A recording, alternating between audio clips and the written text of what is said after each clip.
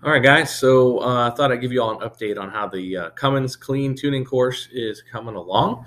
So what we decided to do uh, is a little bit more work on uh, the stock tune and kind of do some more pulls and whatnot. And I'm going to show you um, some weirdness that I found that actually turns out to be pretty darn good. So give me just a minute. Let's get this out of your way. Perfect. All right. So we're going to start by looking at uh, two dyno charts. So these are the dyno charts from the DynoJet that we've been working on, and um, these are the stock pulls from the RAM with the stock tune. I don't know what you're thinking, like, man, how is this possible? Look at the variation here, you know. And I like to kind of focus because it's a diesel um, on the torque side of things, right? So 609 and 666. How can we say, you know, this is the stock tune if there's such a big variation? And so what's interesting is I kind of stumbled upon this, but I was doing a lot of testing and I noticed uh, in the scanner here um, that the stock boost, which I have uh, in this configuration here, and we do write an awesome config with your course, uh, but this is uh, an early version of it. And so we provide um, the boost here so you don't have to try and watch it on the gauge. But what I noticed was that compared to driving on the street, it seemed a little bit lazy as it spooled up on the dyno during the pull. So I like to pick a solid, uh, consistent set of um, data parameters here. So I always look here at 2500 RPM being a diesel, and it really only pulls to about 3000 anyway.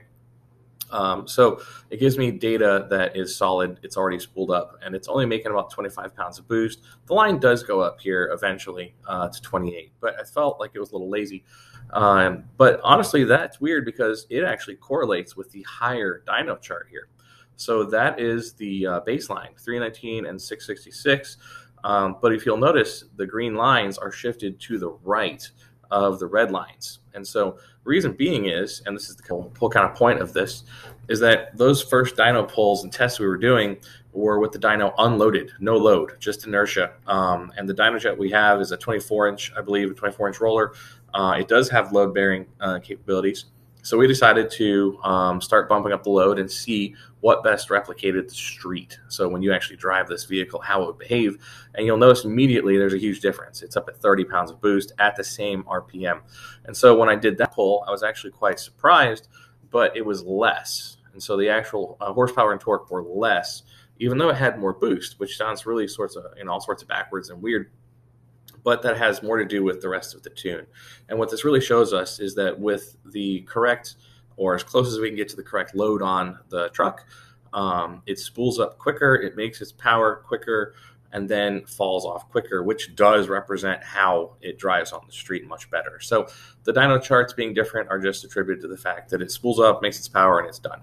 Um, but since you're here, I'm going to give you a little sneak peek on how far we've gotten, uh, making some more uh, runs uh, with some actual tuning. So here was our uh, our latest tune at the time I had done this work, and so uh, we achieved 388 for horsepower, pretty darn big improvement, and um, 865 foot pounds of torque. So really nice improvements here.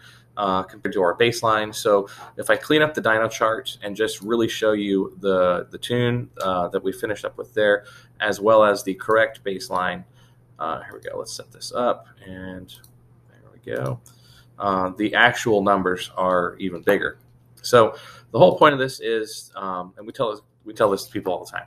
Um, consistency is key. So if you're going to do your dyno tuning on, you know, a turbo diesel, then you need to pick a set load percentage if you're using like the DynoJet here, um, and use that same load percentage every time you upload a tune and test it. If you're using a different brand of dyno, you might be able to set it up um, for like a, a, drive simulation like Mustang Dyno uses. Um, so you don't have to do those things. But either way, um, great tools. My whole point of this video is to show you guys some awesome updates and also drive home the point of look for consistency when you're doing your tuning on your dyno, which is a great tool.